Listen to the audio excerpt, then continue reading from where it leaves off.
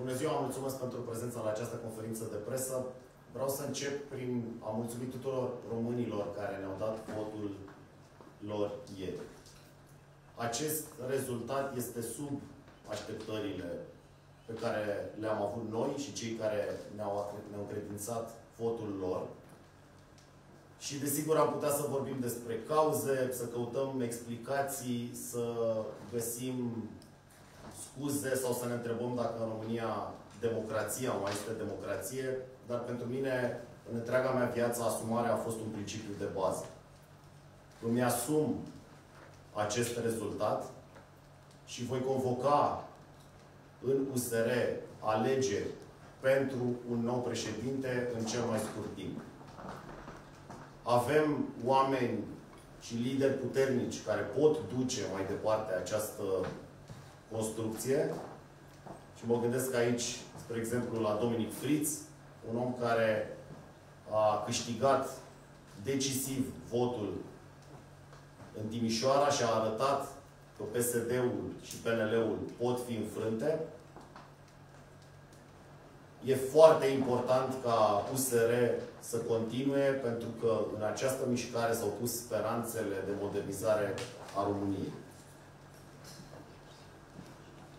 În fiecare zi, ca președinte, la fel ca atunci când am fost ministru, mi-am dăruit toată puterea și priceperea în slujba acestui proiect. Voi face în continuare același lucru, voi sprijini pe colegii mei. Cred că e foarte important în acest moment să avem un reset, să plecăm mai departe cu energii proaspete și să atacăm alegerile foarte importante prezidențiale și parlamentare cu un suflu nou și cu optimism. Desigur, ne putem uita la rezultatele pozitive de ieri și o să vă dau câteva exemple, că nu intra chiar atât de negru.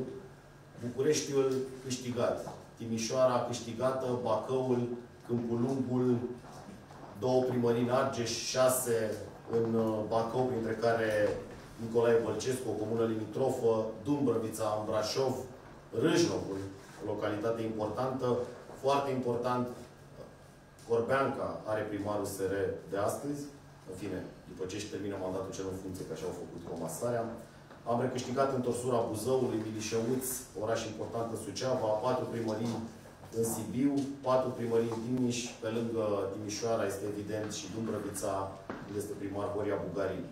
În București am câștigat votul politic, suntem pe primul loc, iar în Timișoara l-am câștigat chiar detașat, Alianța Dreapta Unită 42% se văd și niște diferențe față de exit polul, așa cum anticipam aseară.